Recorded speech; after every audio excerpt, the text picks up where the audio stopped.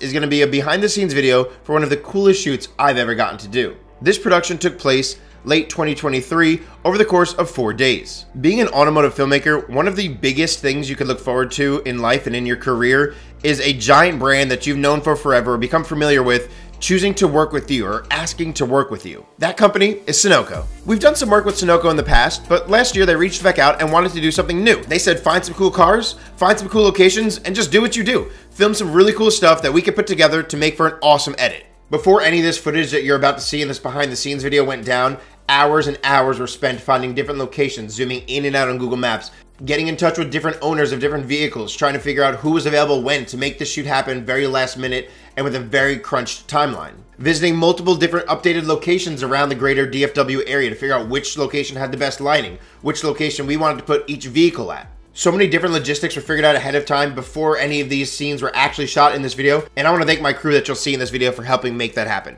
There wasn't a ton of time for us to properly record some behind the scenes, so I'll fill in with some voiceover throughout this video to help explain what we were doing and why. But enjoy this behind the scenes video on how we created some amazing, unique content for a worldwide known brand in Sunoco. BMW Flyby 1. Okay, I don't see anybody right now. It looks, looks pretty clear. Great, awesome. Good job. Slow her down. Since most of our shooting was going to happen at night, I went ahead and rented some Atlas anamorphic glass. Oh yeah, we got it. It'll be fine. Alright, all in, ready, For each go. night's shoot, we created a shot list to know exactly what we wanted to get done. Knowing we were going to be on a very tight schedule and going late into each night, this was completely necessary.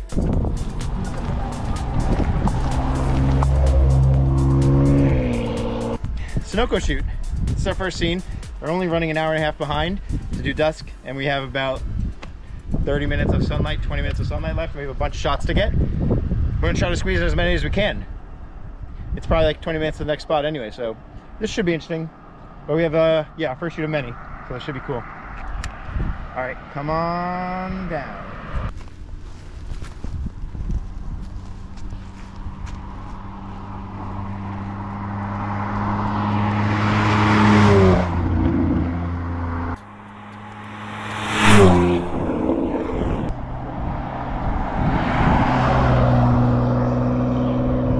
Come on. The GoPro flows.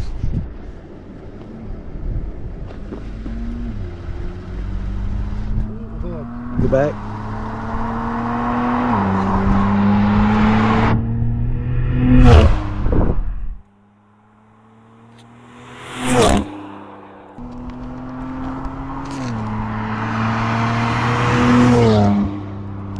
Great job. Okay, turn it around. Now we did that shot three separate times because each time I tried to add a different amount of handheld shake to the camera and pan at the car at the same time as keeping the car within the entire frame the whole time. Those first two takes, I realized I wasn't accomplishing that. So for the third take, I did a little less shake and made sure the car was in the frame the whole time. And to me, that was the best one. So we moved on after that to get the 180 of that in which we just put the camera on the camera arm in front of the car and slowly reversed backwards the opposite direction of the car to get this shot. And together, they look like this. I wanted a good combination of rough and aggressive handheld rolling footage mixed with some smooth cinematic rolling footage as well to deliver to the client. So we plan to do all of our forward facing shots, all of our chase shots on the gimbal, and all of our rear shots handheld out the trunk.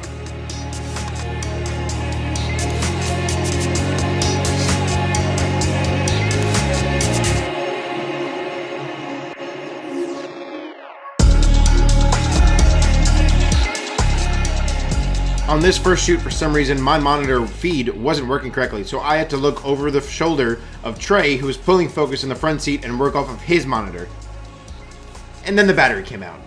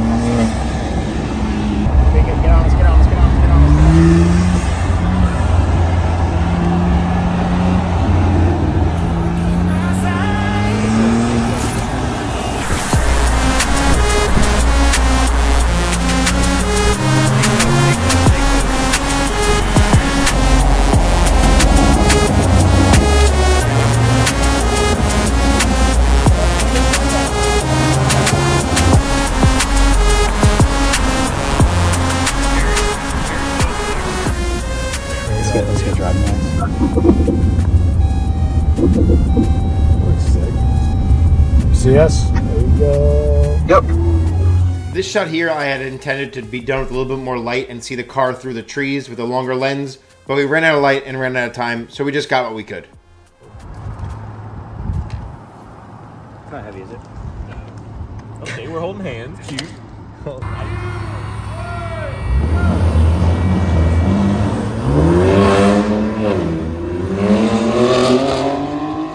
Were trying to do here was throw up a little bit extra dust for atmosphere with the leaf blower, and we only realized later that we should have been blowing from a different direction because all that dust just kept going backwards in the wind. Yeah, we were kind of rushed, so we didn't really notice that. But the shot we got overall looked pretty cool. Check it out.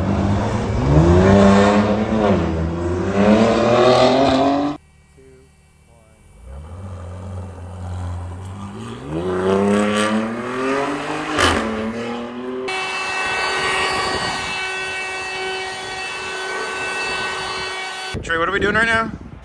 A gas station. we gotta make sure it looks good for this video. You see like all that ink in there, we wanna get rid of that real quick. There's like all this dust up here. We don't wanna see any of that. This is gonna be for like a commercial. We wanna make it look as good as possible. We're gonna finish cleaning up this gas pump right here because this is where we're gonna be filming at. And they're filming, or they're cleaning the car today because it got a little dusty. Um, then we're gonna grab some B-roll of the station, get the car pulling in, some details of the car here at the station, fueling up with that new 94 uh, from uh, Sunoco. But let's keep cleaning.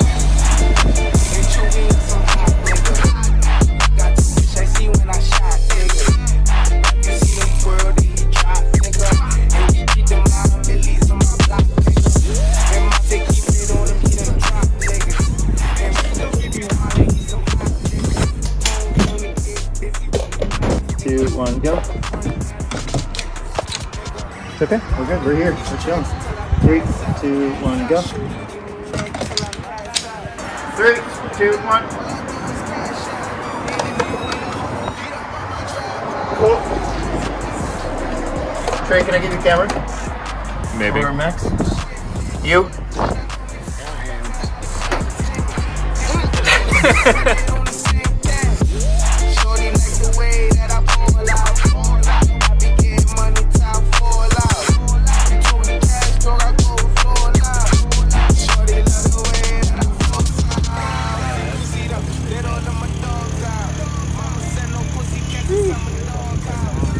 using the Laowa Pro lens that we also rented for this production uh, to get some really cool detailed close-up shots of headlights. We use this for stitching and some other shots that you'll see in the video. Next up here we're using the Nanlite Pavo Tube 2 30X. This is their 4-foot version one, which has the cool new pixel effects, which allows us to do this cool like driving past light sequence here that we're using to mimic some driving shots here while the car is just parked uh, with a little bit of post shake and some effects added onto this later, you would never be able to tell that it wasn't done while driving. For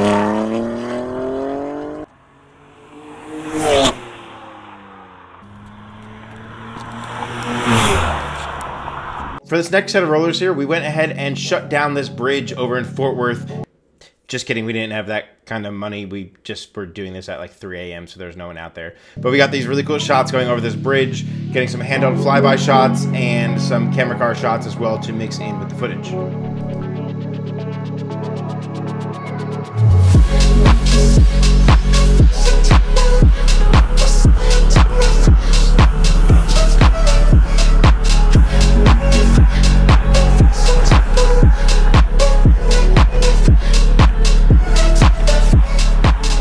It's 1.35 in the morning and we wrapped the first of three cars right here, Duncan's M3 comp of this Sunoco shoot. Um, we're in Fort Worth. We came to get some few night rollers or a few bridges because we weren't able to get some of the shots we wanted on our shot list during dusk because we ran out of sunlight.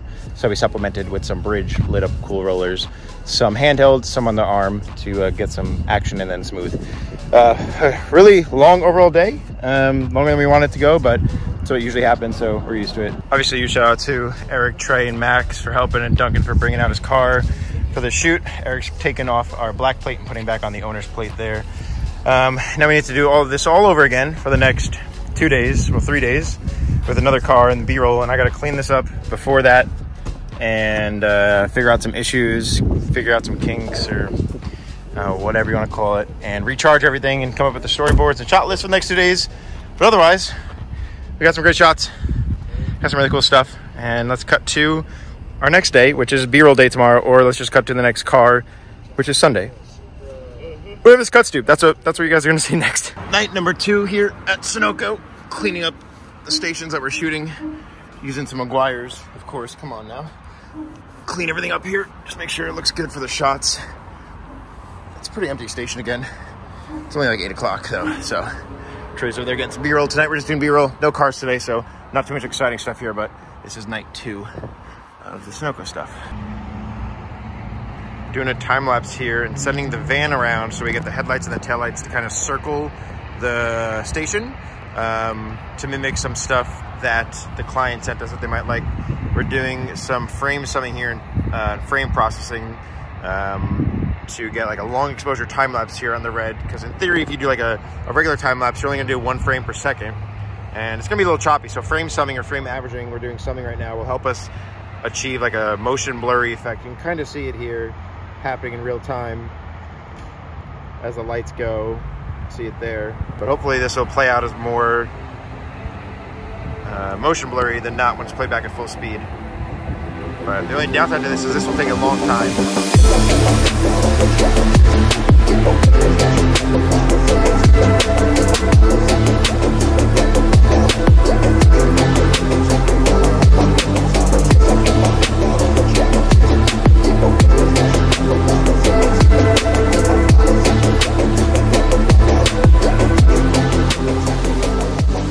So the goal of this night was to visit all the stations we'd be shooting throughout this week and get B-roll of all of them so that way when we shot each vehicle at each location, we wouldn't have to waste time getting general B-roll. We would spend this one night dedicated to solely all the B-roll footage.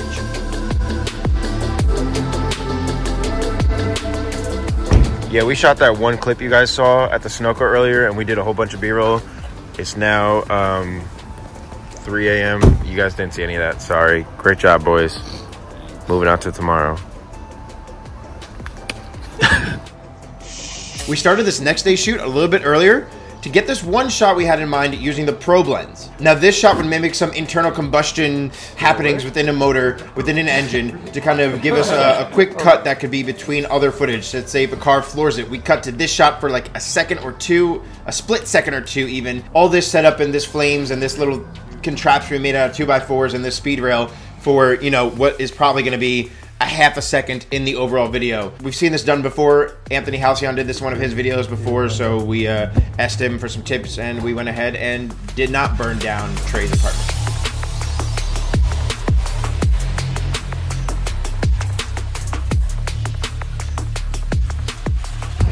All right, we're here at night number three. It is 8:27. Uh, we're at our next Sunoco here. We just finished cleaning off this pump. We have Brent's Supra that we're filming with tonight. Uh, his white MK5 Supra. We filmed with his MK4 for Death to Thieves. Um, he also has a Viper and uh, 240 and some other cool cars as well. Um, but we're gonna get our first establishing shots here at the pump.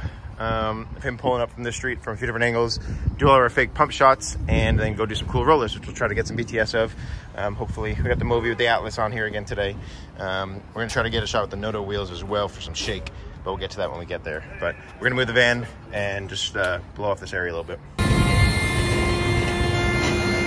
Of course, you guys know we bring out the Ryobi. Oh, shit. That tanker truck you saw come in at the last second of that clip was coming in to refill that gas station. So we actually had to stop doing all of our gas station shots and just move on to some of our rollers, and we would come back to the station later.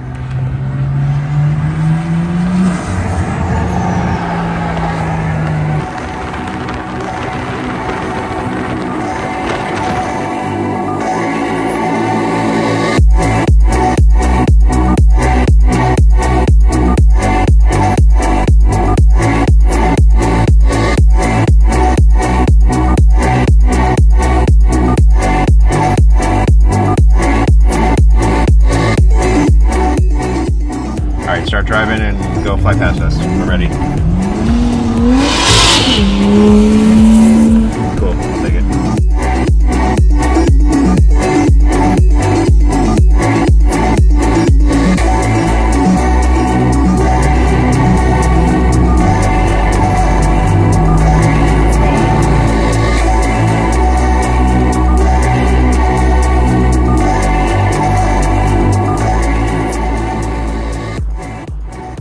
Next shot, you know we had to hit a classic Reggie Moss split.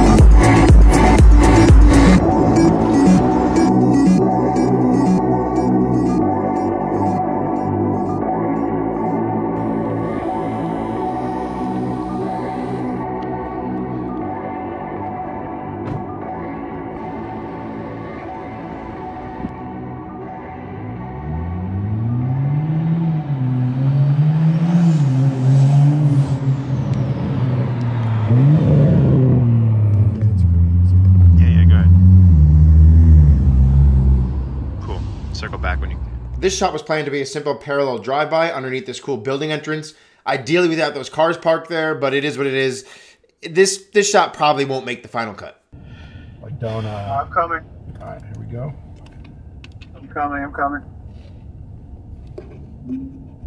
You guys can see the intersection, right? Yep, yep. You're good. You're good. That was out here. right, here we go. Sorry, guys. I'm coming. Good. Uh, This next shot here is something similar we did for a video in the past. We really liked it, so we mimicked it in a few different styles where the picture car is coming racing towards us while we're racing at it as well through an intersection from a tunnel. But this time we're using the Noto wheels to control the camera and to add a little bit of shake in camera uh, instead of having to add it in post.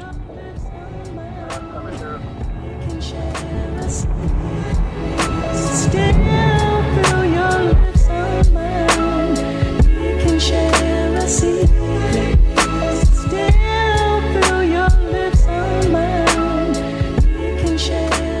So, I've had these Noto wheels or these inertia wheels by Noto uh, for a minute, but I haven't been able to really use them for any shoot. Um, and I haven't really honestly gotten that well at using them yet. What I just did is I pretty much use them for their built-in effect of the shake that allows the Movi Pro to do, which is probably the main reason uh, why I wanted to work with Noto and why I wanted to get my hands on these wheels is the shake that these wheels allow the Movi to uh, do. It really puts um, a really cool actiony shake. So what the clip we just filmed at was uh, with a 90 degree shutter angle and the effect shake turned all the way up on the on the wheels and a slow um, pan towards our car. And I think it looked really, really cool. And that's an effect. Sure, you could do that in post. Uh, we went through that tunnel right over there. Sure, you could do that in post, but it's not going to look as good as when you do it practical.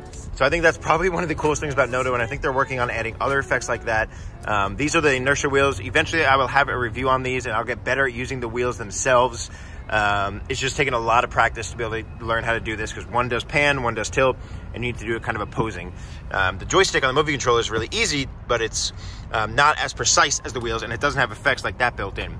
Um, so hopefully, you guys will see more of me using these wheels. Too much dust on the road. Max is cleaning it up.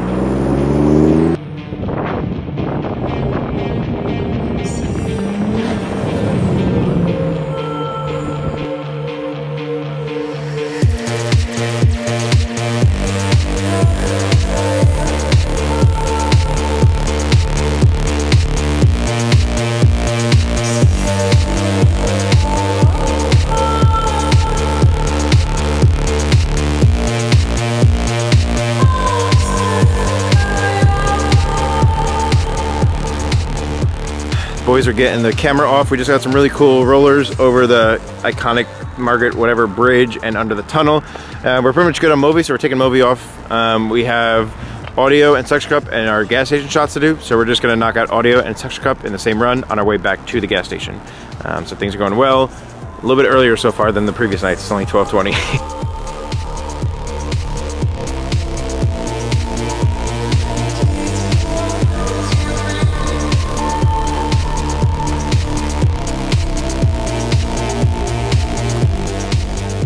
will be Toyota Supra. Toyota Supra for uh, Sunoco, uh, Brent. Give me a quick detail about the car, like engine or turbo. Garrett turbo, B58, port injection. fuel system, stuff, goodies, all type of jazz. E85 fuel as well. Uh, okay, so can you give me um, a small, medium, large rev?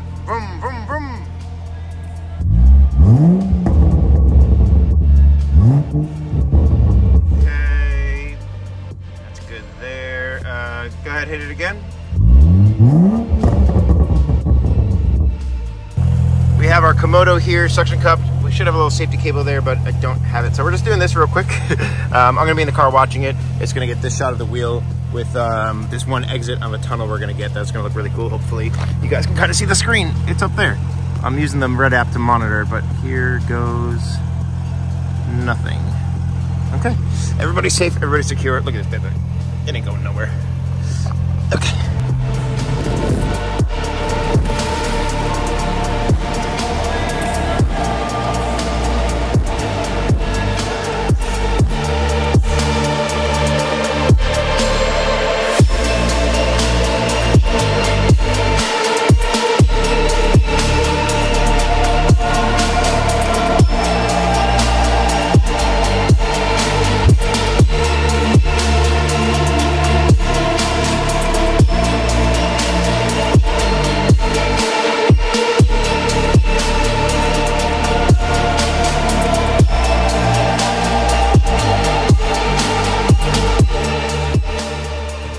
All right, we are back at the gas station here, getting our gas station shots because we couldn't before because there's a tanker truck filling up. Um, but look at this blue reflection on this white. This is looking sick. The shadow it's giving and these like little reflections coming off the car are gonna look really cool for these detail shots. Um, but right now we're just getting our gas pump shots that we need, showing the 94, showing him opening the tank, putting the fuel pump in, that stuff. Then we'll do our beauty shots, our fake tach rev, our fake shifting, our little shot list here's getting mixed up pretty quickly. And that's where we stopped filming BTS again. Uh, sorry about that, but it was already about like 2 or 3 a.m. and we wanted to get home and wanted to get the owner home as well. So we're moving on to the next day, which is this Challenger shoot we did more north of Texas towards Plano. Um, starting in a garage to get the wake up kind of scene, using again the Noto wheels here where you could see the shake happening from.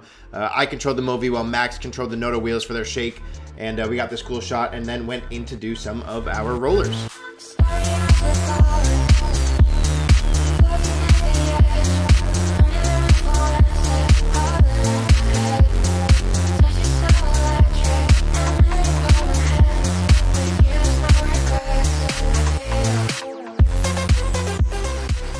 For this next cool specialty shot, we knew of this dirt end road that kind of met up with the actual road in which we wanted the Challenger to peel out from and merge its way onto the regular road that we could get multiple shots out of to kind of sell that aggressive launch uh, style, aggressive look and feel to the video for, again, probably just a clip that's going to be half a second, a full second in the overall video, but for all this setup and multiple takes and suction cup and all that jazz, I think it'll be worth it. All right, no cars. All right, and three, two, one, go.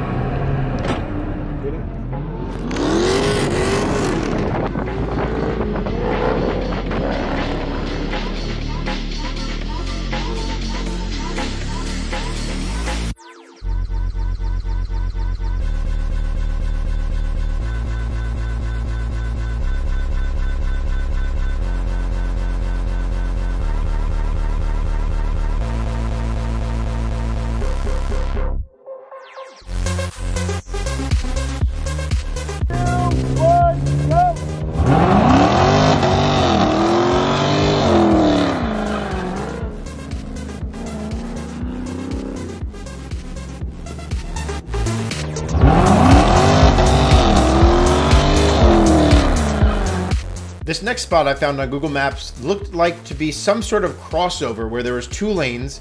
They're going opposite directions, but late at night they're both probably empty. The idea here was to have the camera car go down one lane while the picture car goes down the other lane and we meet up here at the end. It kind of worked out. If anything, this will be used for maybe just the split part of the shot. Otherwise, this shot went on for a little bit longer than I wanted it to, and the lights that cast the van's shadow onto the grass kind of killed some of these shots.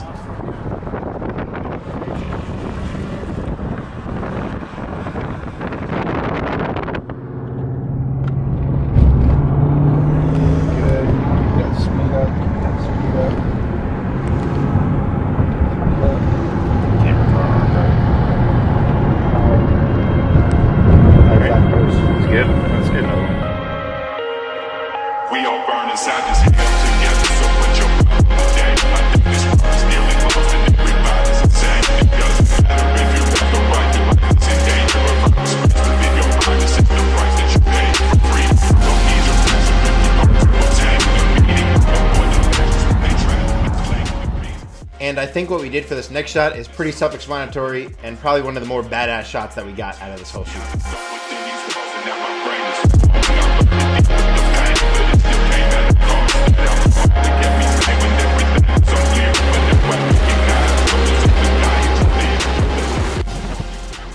Yeah, bro, magical, bro. That shit was crazy. They're gonna fucking love that shit.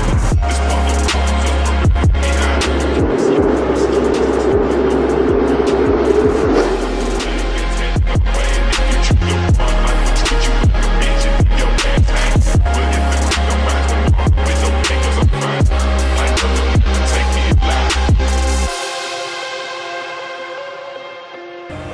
we got all of our rollers and our cool shots with the camera car. We're back at the station now. This one, uh, which is our favorite station. It looks the best, has the coolest lighting, the nicest, cleanest pumps.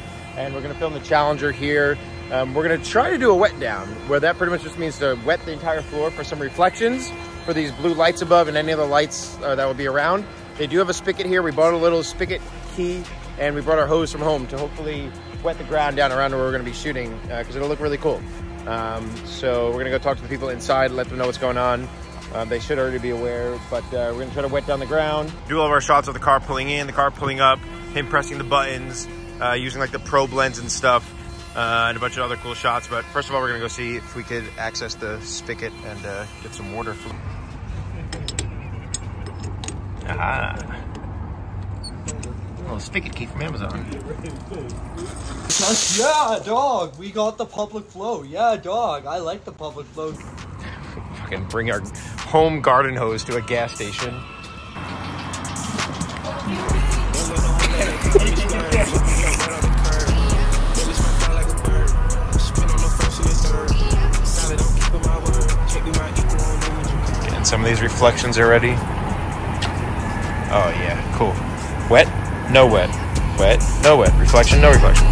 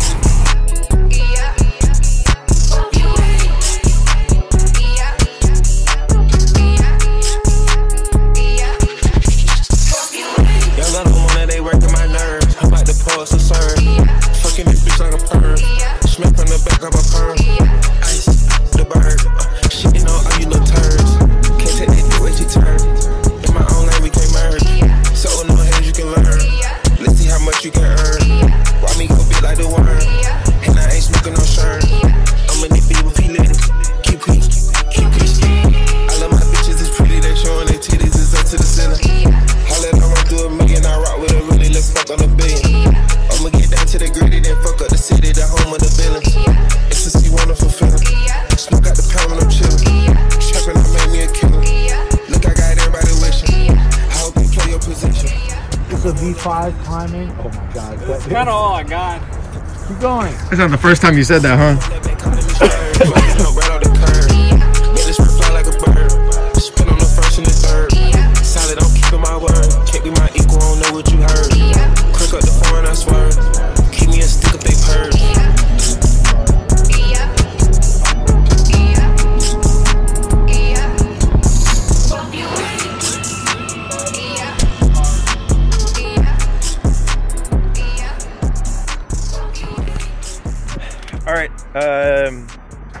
Noe and his Scat Pack just ran off to go do our audio run. It is currently 2.30 exactly in the morning, and we are finished up with our last shoot for the Sunoco piece. Uh, this is really cool. We filmed three different cars and three different scenarios at three different gas stations with some really cool footage. Um, we're not editing it, so we just filmed it in mind with getting a bunch of cool shots and then some rollers in between that they can make an awesome edit out of. Um, where most of the time we'll film a feature and we'll film a bunch of rollers, a cool location, that type of jazz. And within that feature, maybe one to two or three specialty shots is what I call them sometimes, or cool shots, whatever you want to call them, where you go out of your way to do more than just a roller. Whether that's standing out of the car and you're getting a 180 flyby in the middle of the road, or you're doing a head-on 180 in a tunnel, or um, you're doing a sex section shot of a car peeling out of a dirt road Um, that's pretty much what all the shots that we got from the shoot are, and those are sometimes the most fun to get because those are the ones you get to think about creatively. When you zoom in on Google Maps and you see a cool split in the road that also meets back up at the end, you go, "Oh, I can make a really cool shot out of that." Um, that's the, those little specialty shots that have just like a regular roller. Um, and that's what this whole video was. That's what all this filming was for. Um, so yeah, this was a really cool shoot. We'll put the Instagrams here of everyone that helped. Uh, obviously, shout out to them. They've stayed out from 8 p.m. to 2:30, 3:30, 4 o'clock every morning for the past four nights. Um, but uh, yeah, Sunoco, thank you guys for trusting us to make you some cool content. I'm excited to see what the edit is you guys put together. I think this video is eventually going to air on the East Coast when they get this 94 fuel over there. Um, but uh, yeah, hopefully here's to some more opportunities with Sunoco and uh, making other cool videos like this. And shout out to the boys for helping these past few days. Um, obviously, it's a job, so everyone's getting paid, but obviously everyone went above and beyond. So um, yeah, appreciate you guys watching this little behind the scenes vlog. Hopefully it was cool. We got to show you guys some cool footage of not just a feature, not just a car show, more of a commercial shoot with some cool lenses. And it's Texas, and I can see my breath. Um, I moved away from New York to get out of the cold. It's currently 49 degrees. Um, but yeah, thank you guys for watching. Hopefully, you guys enjoy this vlog. Hopefully, you guys, I will link on Instagram and the video when it eventually comes out because this vlog will come out after that commercial airs or whatever they're using this content for. Um, so I'll put a link in the description of this video and I'll post on Instagram and all that type of jazz. So look out for that. Appreciate you guys. I'll see you all in the next one. Krispy.store for some cool merch and stickers, please. Thanks, guys. Young girl, one that been calling me splurge. Let me jump right off the curb. Bentley spread fly like a bird. Spin on the first and the third. Solid, I'm keeping my. There's only one fuel that can drive the performance you demand from your car. New 94 Octane, the highest octane on the market. Only at Sunoco.